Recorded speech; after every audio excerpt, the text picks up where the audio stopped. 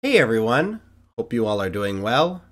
Today we're going to be reading 2 Kings 9, Jeremiah 18, and Isaiah 25. Now let's pray before we get into the word. Dear Heavenly Father, thank you so much for giving us this day that we might spend with you and get to know you a little bit more. Thank you so much for all the blessings that you've poured out on us that we don't deserve, and sending your Son to die for our sins that we might share in your glory and get to dwell with you in your heavenly kingdom. Please guide us with your Holy Spirit to open up our hearts and our minds to anything that you would have us to know on this beautiful day. Please forgive us of our sins and lead us away from temptation, that we might be more like you and glorify you in your kingdom. In Jesus' name we pray. Amen. Now let's get started.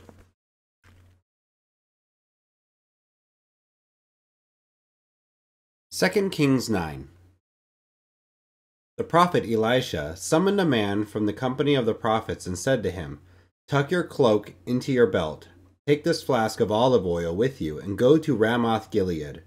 When you get there, look for Jehu, son of Jehoshaphat, the son of Nimshi. Go to him, get him away from his companions, and take him into an inner room. Then take the flask and pour the oil on his head and declare, This is what the Lord says I anoint you king over Israel. Then open the door and run. Don't delay.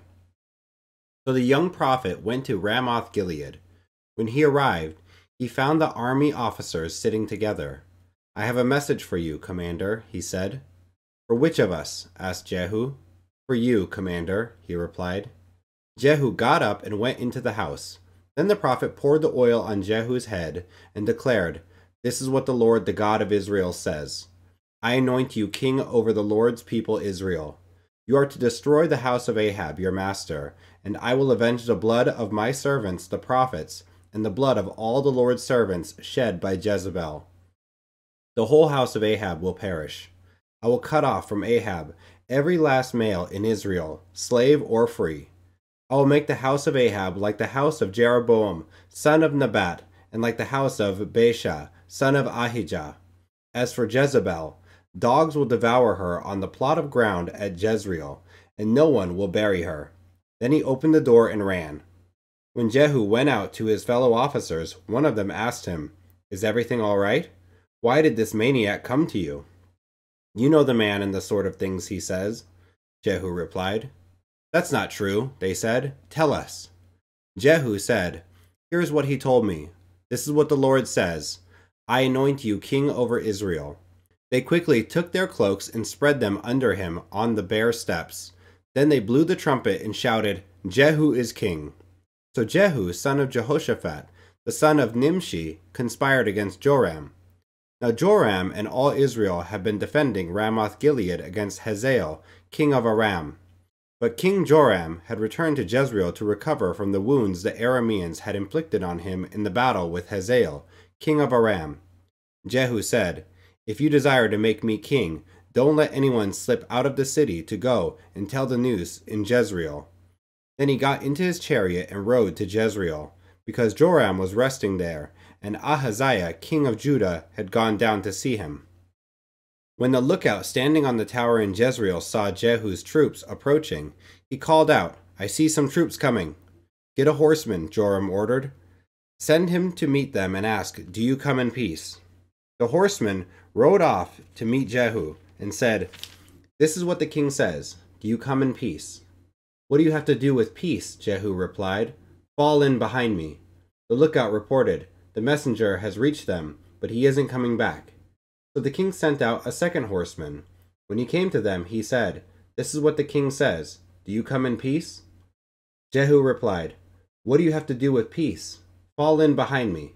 The lookout reported, he has reached them, but he isn't coming back either. The driving is like that of Jehu, son of Nimshi. He drives like a maniac. Hitch up my chariot, Joram ordered. And when it was hitched up, Joram, king of Israel, and Ahaziah, king of Judah, rode out, each in his own chariot, to meet Jehu. They met him at the plot of ground that had belonged to Naboth the Jezreelite. When Joram saw Jehu, he asked, Have you come in peace, Jehu? How can there be peace, Jehu replied, as long as all the idolatry and witchcraft of your mother Jezebel abound? Joram turned about and fled, calling out to Ahaziah, Treachery, Ahaziah! Then Jehu drew his bow and shot Joram between the shoulders. The arrow pierced his heart, and he slumped down in his chariot. Jehu said to Bidkar, his chariot officer, Pick him up and throw him on the field that belonged to Naboth the Jezreelite. Remember how you and I were riding together in chariots behind Ahab his father, when the Lord spoke this prophecy against him. Yesterday I saw the blood of Naboth, and the blood of his sons, declares the Lord, and I will surely make you pay for it on this plot of ground, declares the Lord. Now then, pick him up and throw him on that plot, in accordance with the word of the Lord. When Ahaziah, king of Judah, saw what had happened, he fled up the road to Beth Haggan. Jehu chased him, shouting, Kill him too! They wounded him in his chariot on the way up to Gur near Ibleam, but he escaped to Megiddo and died there. His servants took him by chariot to Jerusalem and buried him with his ancestors in his tomb in the city of David. In the eleventh year of Joram, son of Ahab, Ahaziah had become king of Judah. Then Jehu went to Jezreel. When Jezebel heard about it, she put on eye makeup, arranged her hair, and looked out of a window. As Jehu entered the gate, she asked, Have you come in peace, you Zimri, you murderer of your master? He looked up at the window and called out, Who is on my side? Who? Two or three eunuchs looked down at him. Throw her down, Jehu said. So they threw her down, and some of her blood spattered the wall and the horses as they trampled her underfoot. Jehu went in and ate and drank. Take care of that cursed woman, he said and bury her, for she was a king's daughter. But when they went out to bury her, they found nothing except her skull, her feet, and her hands. They went back and told Jehu, who said, This is the word of the Lord that he spoke through his servant Elijah the Tishbite. On the plot of ground at Jezreel, dogs will devour Jezebel's flesh. Jezebel's body will be like dung on the ground in the plot at Jezreel, so that no one will be able to say, This is Jezebel. Jeremiah 18 This is the word that came to Jeremiah from the Lord. Go down to the potter's house, and there I will give you my message. So I went down to the potter's house, and I saw him working at the wheel. But the pot he was shaping from the clay was marred in his hands. So the potter formed it into another pot, shaping it as seemed best to him. Then the word of the Lord came to me. He said, Can I not do with you, Israel, as this potter does? declares the Lord. Like clay in the hand of the potter, so are you in my hand, Israel.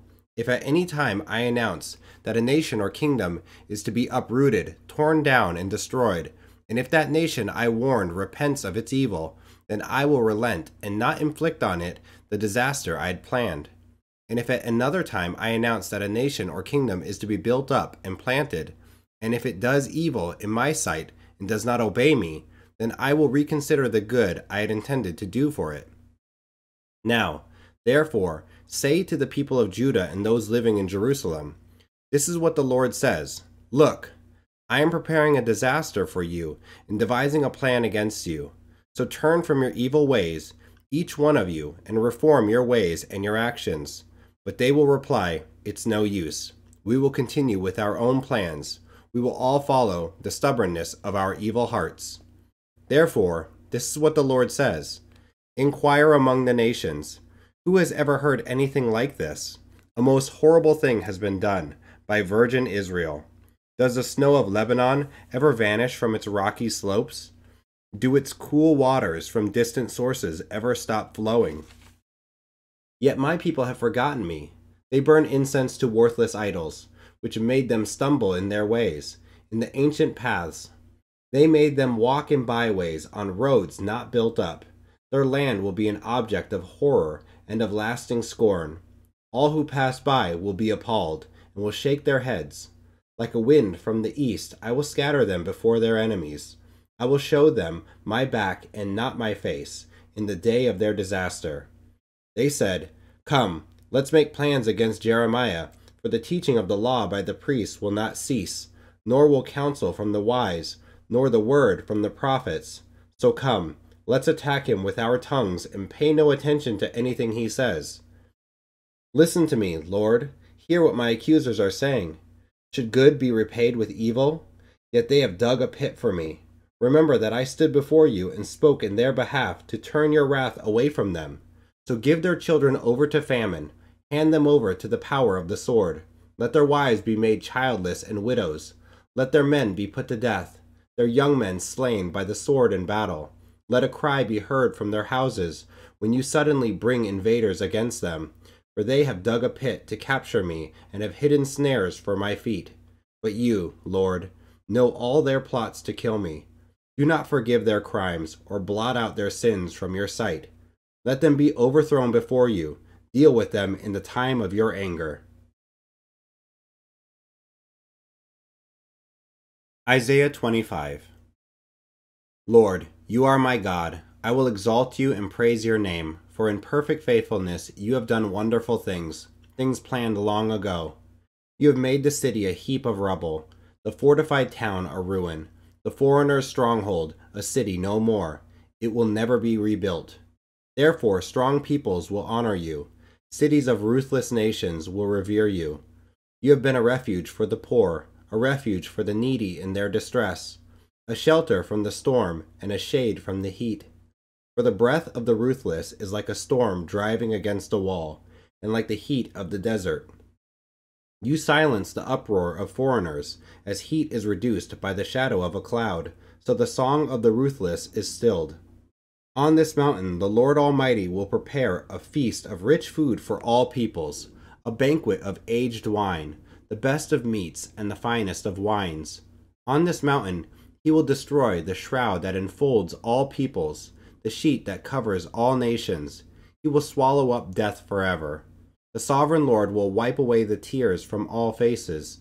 He will remove his people's disgrace from all the earth. The Lord has spoken. In that day they will say, Surely this is our God. We trusted in him, and he saved us. This is the Lord. We trusted in him. Let us rejoice and be glad in his salvation. The hand of the Lord will rest on this mountain, but Moab will be trampled in their land, as straw is trampled down in the manure. They will stretch out their hands in it, as swimmers stretch out their hands to swim.